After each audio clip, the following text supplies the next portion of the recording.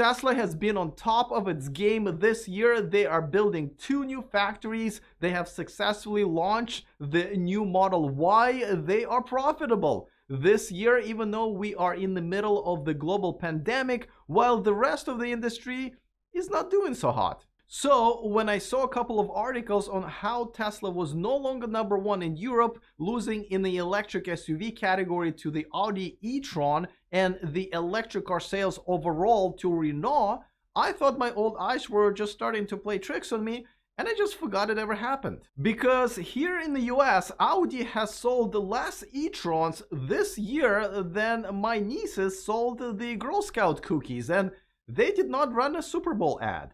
Also, we don't have Renault here. We don't even know how to spell it or pronounce it. Re Renault. Renault. Renault. No, no. But then I saw the very same article claiming that Audi is outselling Tesla in the electric SUV category in Europe. I saw it posted in one of my Facebook groups dedicated to the Audi e-tron owners, and it was titled No Surprise Here. Now, uh, I had to reply. I usually don't reply in my groups that much, but I was like, well, actually, I am surprised because I think that Model X is a much better car. To which, in about 10 minutes, I had like 50 replies. So I was like, okay, all right, that's unusually fast, but let's see what they're saying. These are the real e-tron owners. Meanwhile, I also went to the Renault Zoe group. Renault Zoe is the electric car that's outselling all electric cars, including the Model 3 in Europe, and posted kind of the same question, wondering why did those owners choose Zoe over a Model 3, which I would also assume is a better car. And once again, I got dozens and dozens of answers, and I decided to go through them as well. As I was going through the replies in both groups, I realized that Europe, where I am actually originally from, is a very different place than the United States. Now, they may not have the monster truck rallies to entertain themselves, and they call football a sport where they use their feet to kick a ball, go figure, and they may not have the record coronavirus cases every day, but you know, nobody's perfect. But what they do have is very different needs for their electric cars, and that's why Tesla doesn't do as well in Europe as it does in the United States. So let's examine why the brands like Audi and Renault and others are more appealing to people in Europe than Tesla. And by the way, and I can't believe I have to say it in every video, no, this video is not about bashing Tesla. This video is about showcasing other electric cars and the reason they appeal to different electric car consumers. All right, before we talk specifically about the Audi e-tron or the Renault Zoe, I've realized there are two really big categories that people in Europe don't care as much about as we do here in the United States. Now, the first one is the range. Because Europe is just a smaller place, people don't travel as far on daily basis in Europe as we do here in the United States. So really, any car that has a range over 200 miles is more than enough for the Europeans. And the second one is that Tesla Autopilot is not very useful in Europe. First of all, a lot of people and most people do most of their driving in the city where autopilot is not very useful. And on top of that, because of European regulations, a lot of autopilot features have been limited. For example, if you take the smart summon, the parking lot summon in Europe, you have to be no further than just 20 feet away from your car in order to summon it, which kind of defeats the whole purpose of the parking lot summon. Another example is the automatic lane change. It has to take 5 seconds or less from the initiation to the completion in order for it to be automated. Once again, only 5 seconds, kind of a moot point. So now it looks like Tesla does not have the advantage of their battery technology, thus the range, in the autopilot technology in Europe. Well, it is much easier to compete with them for brands like Audi and Renault. All right, so now let's talk about the Audi e-tron specifically uh, versus the Tesla Model X because the e-tron has outsold the Model X, and I was very surprised to learn about these numbers by 5, 6, and almost 7 times.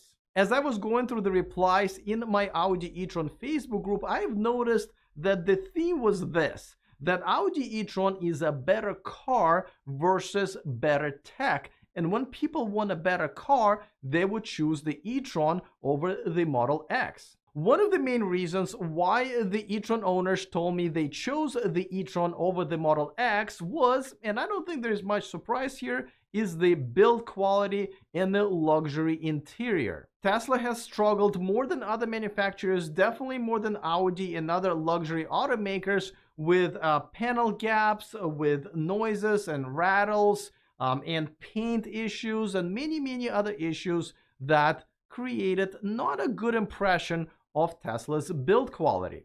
And of course, I don't think anybody is surprised that Audi is able to build a more luxurious interior than Tesla. As a matter of fact, I'm not really sure if Tesla is going for luxury in the first place.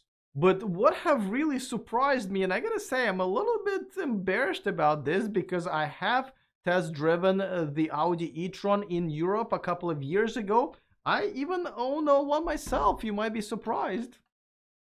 But surprisingly, all these e-tron owners have actually argued that Audi e-tron has more useful tech that they do need on daily basis than the Model X, and they gave me quite extensive list. Now, a couple of those things that I actually have in my vault that are missing in any Tesla, for example, the side mirror blind spot indicators and an ability to change the theme of the user interface.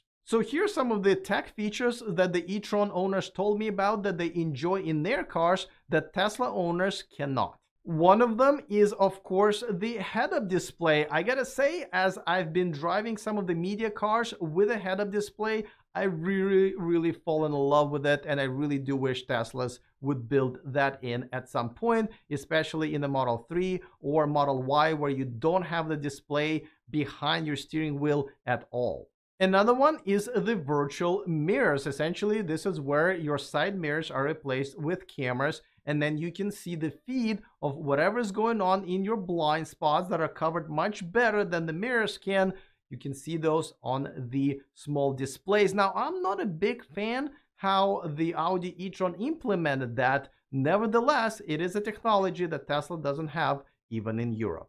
The next one is the matrix lights. Now, these are really cool. These can concentrate on a certain area in front of you and just light up, for example, the lane that you're driving on and nothing else around it. Also, they will change the intensity depending on your surroundings and they can even display images right in front of your car, which I think is really, really cool. The next one is 360 degree view and that's a feature that is a must have for me in my next car. Essentially, you can see everything around your car and your car can even be rendered in 3D and kind of spun around, which means that you can see everything around you when you're backing up or you're very close to another car or to the wall in your garage. Just must have. Apple CarPlay and Android Auto. Honestly, whenever I get into a car that has a decent navigation system, but does have the Android Auto, I always connect my phone to it because I love Google Maps. Uh, I love the fact the interface is familiar. So that's a big deal for a lot of users, and Tesla unfortunately doesn't have it.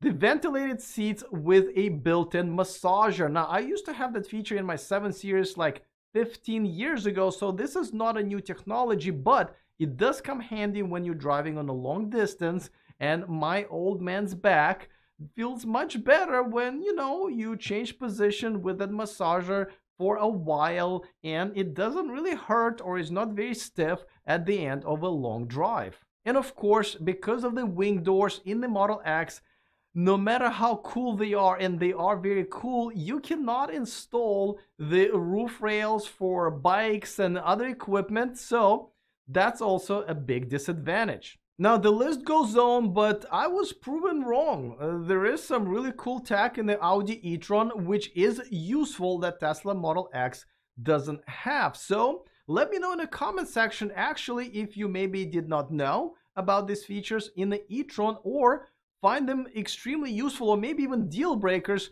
in your next electric vehicle. Now let's talk about the Renault Zoe. Most of you probably have never heard of this car or even of this brand. Nevertheless, it's a small hatchback, all electric with over 200 miles of range in Europe that has outsold all other electric cars. So this is the most sold electric car in Europe so far this year.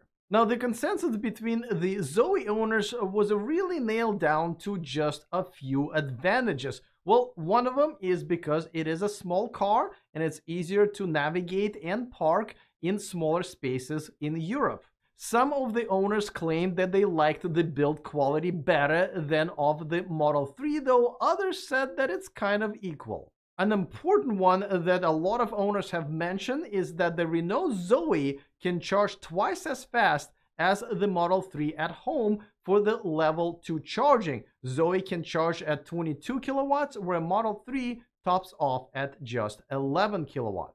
But the biggest reason why the Renault Zoe owners have chosen their car over the Model 3 was actually pretty simple.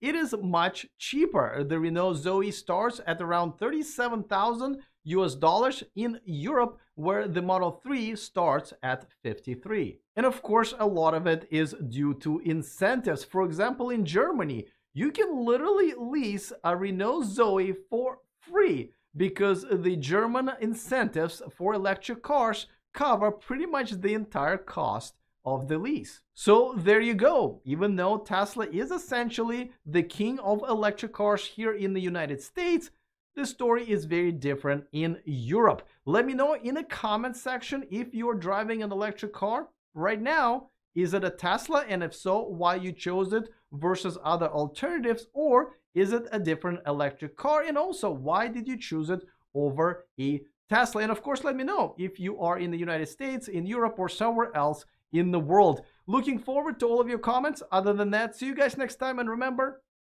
to stay charged.